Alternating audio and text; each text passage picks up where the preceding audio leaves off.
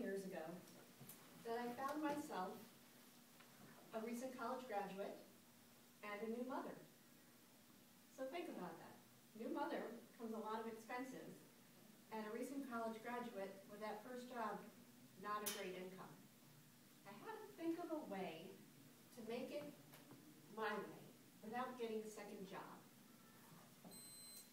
So then I came up with, why not get more bang for our buck?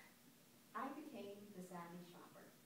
And I'm here tonight to tell you 20 years later, I'm going to hope five to seven minutes to share all my wealth that I've learned in the last 20 years. Fellow Toastmasters, guests, welcome to the entertainment book. this is the entertainment book. It's an annual, annually published book.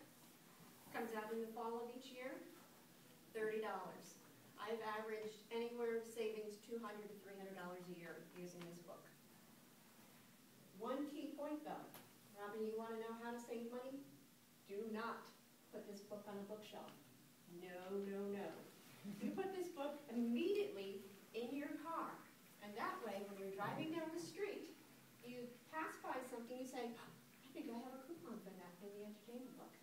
And sure enough, you go to your index, you find it, and you save 10, 20%. Uh, my motto is, why pay full price for anything? Anybody out there a AAA member? AAA isn't for towing only.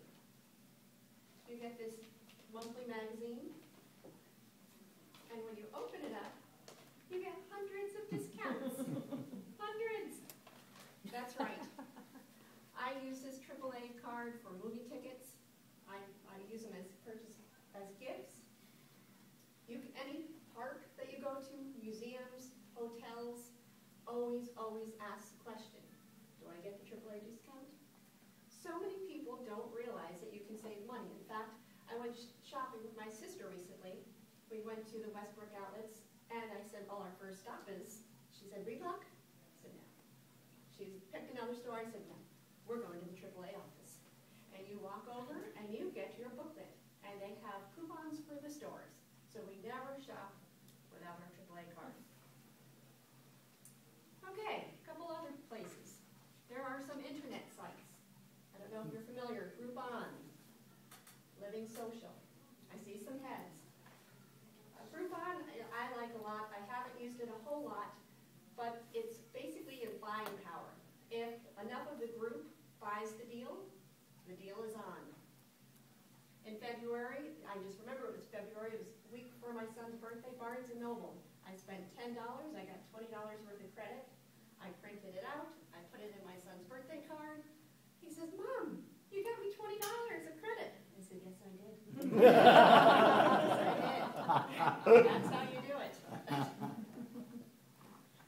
Talking about my son, he used to cringe because I truly am the queen of coupons. Everywhere I go, I have a coupon. All you need is one of these, the coupon organizer. He used to cringe. Mom, please, please don't take out the coupons. but I will say that he came home from college one time. He was leaving the house, keys in hand. He stops. He looks up at me and he says, I'm going to Subway.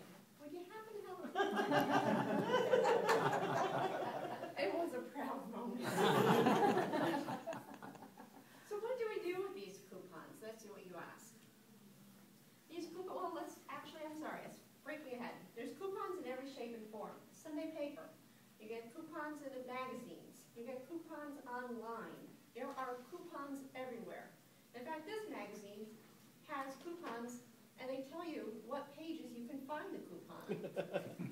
I follow a lady's blog. She is wonderful. She uh, tells me where to go for what, what's free. My postman must think I'm crazy. He gets me, I get toothpaste delivered. I get deodorant delivered. I get wonder, what does this girl do? it's really very easy. You just sign up. I have an alternate email so that my email box doesn't get spammed, and I just send all the emails there and the freebies to me, and I collect them. So, the key to couponing is this. You take the deal.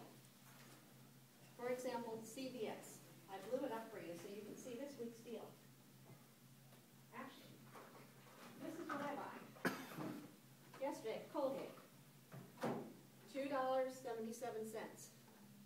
In return, you get credit, $2.77.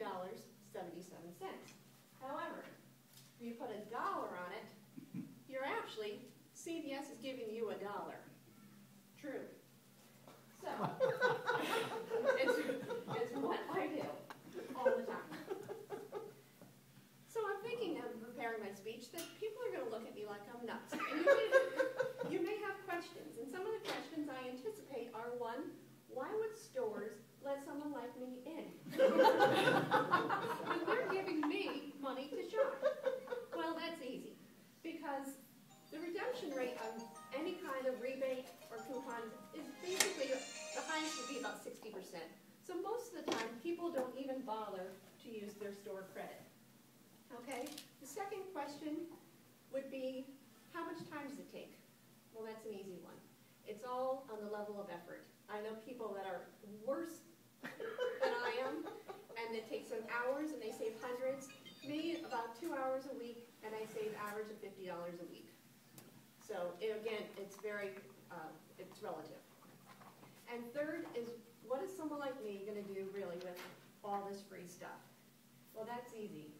I use it for what I need, but then Uta introduced me to Master's Manna, and I'm so glad to say that I've already done one big trip of, I have a stash, I call it my stash, and I have to hide it from my son when he comes home, because he does go through it, but I gave a whole box of free stuff.